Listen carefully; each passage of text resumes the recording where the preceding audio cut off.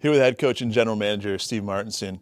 Coach, right now we're locked in first place in the Mountain Division, and um, in the Western Conference, Toledo's a little bit out in front, but we're still second. How important for the last third of the season is it to try and get home ice through as many rounds of the playoffs as possible? Well, it's important. I mean, you know, if you don't have it, it's not important, but you want to get it. Um, you know, we've won on the road all year, but it's nice to have that, you know, that deciding game and the travel, and you travel less. You know, when it's two, three, two, it's it's less expensive for the team. So you know, we want to get it, and and uh, you know, it's out of our control with Toledo, but Toledo, you know, a lot of things can happen with them too. So we just want to do what we can do and win as many games as possible.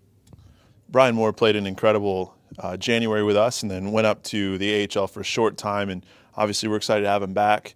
Uh, but maybe he would have liked a longer call up. What goes into whether a player sticks at the next level or not? Well, they were getting players back. It was an all-star break, so you had players not playing in the NHL, and, and so players were sent down. They had a trade, so he did really well. What it did, it opened eyes for, for, for him for there for this year and next year. I mean, they really liked his game, and you know, anytime you're a young guy and you go up, it's you know, it's opportunity. There's two teams that see you, and he made the most of it. He was being reassigned before he played the game because of, of, of strictly numbers, and he had a goal and assist. And you know, like I said, the coaches really liked him, and he played really well. Do you think it's easier to make a team um, out of training camp or in a call up throughout the year?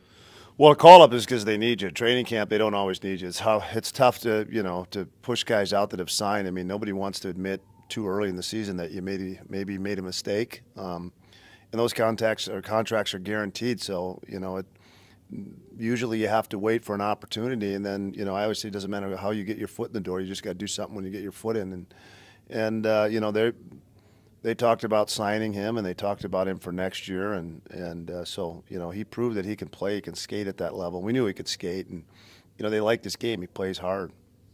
Finally uh, what do you look uh, to do against Tulsa tonight to get the win?